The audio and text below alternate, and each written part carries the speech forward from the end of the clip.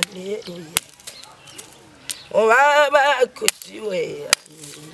haleluya Huyu ni Elizabeth Kaswima, mkazi wa Nyasaka mkoani Mwanza. Ni mjane wa watoto wanne ambaye kwa sasa anaishi na wajukuu wake nane. Kwa zaidi ya miaka 15 anayaishi maisha haya, maisha ya kuponda kokoto ili maisha ya kila siku yaendelee. niliteseka sana kwa ajili ya watoto, nilikuwa sina msaada wowote. Msaada wangu ni kuponda kokoto.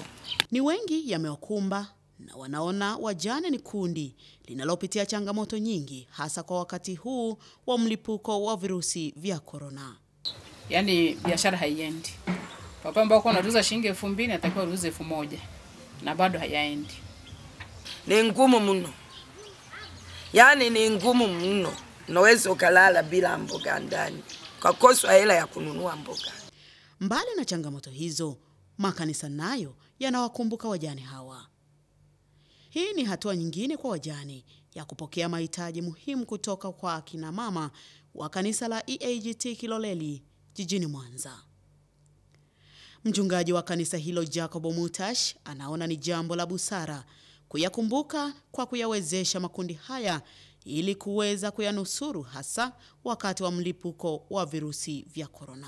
kwamba wawakumbuke wajane, wawakumbuke wajane, wawakumbuke wajane.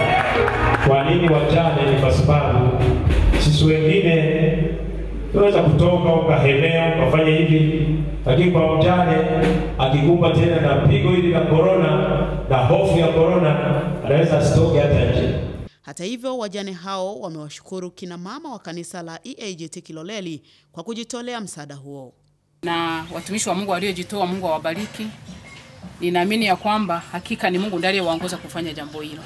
Tunaomba waendelee kutenda, maana hili ni jambo jema linaloleta baraka na utukufu mbele za Mungu.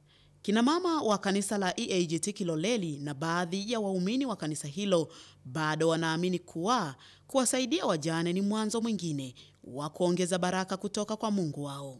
Kwa hiyo tukaona ni vyema wapate chakula, wale washibe, ili wamulilie Mungu kwa ajili ya janga hili la korona liishe kabisa. Kwa hiyo unapotoa unapata zaidi. Kwa sisi ambao kwa sisi ambavyo tuna tuna imani hiyo ya Kikristo kwamba tunaamini kwamba ukitoa unapata zaidi. Waangalieni sana wale wanaowaongoza, lakini nasema mwisho, iigeni imani yao. Gigwe Mhule, Star TV, Mwanza.